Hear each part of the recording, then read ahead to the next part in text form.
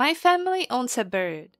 With this bird's personality in mind, I honestly wouldn't be surprised if he was just a person changed into that shape by the gods, as it also happened to the main character of our myth today, Aesacus. Without further ado, let's go! Aesacus. Aesacus was a son of Priam, a brother to Hector and Paris. It was said that Aesacus was born to a different mother than Hecuba, hidden on Mount Ida. The boy didn't really like to spend time in cities or palaces. He much rather preferred the mountains and fields.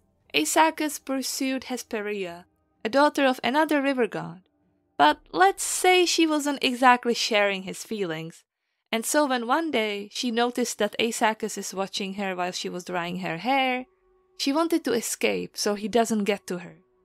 Hesperia wanted to run away so quickly that she didn't notice the adder lurking in the grass. It bit her in the ankle and soon Hesperia passed away.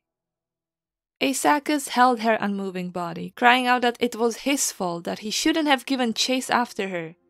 If he didn't, she would have still be alive. He was the murderer, not the snake.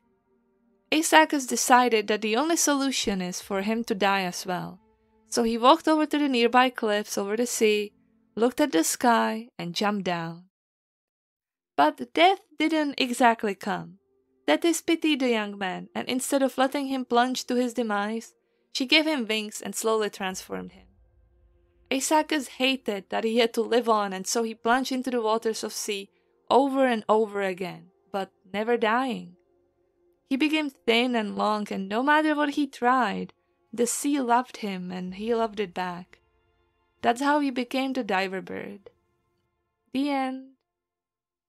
We don't exactly know which bird it is referencing, but one of the possible ones is cormorant, which I decided to go with. I'm not sure if what Thetis did was bad or not, but she did save his life, so I will let you guys figure that one out on your own. Anyway, thank you for watching, subscribe, and I'll see you next time. Bye bye. Oh, and my coffee. You can either just support me for some extra doodles or you can buy a commission. Okay, bye.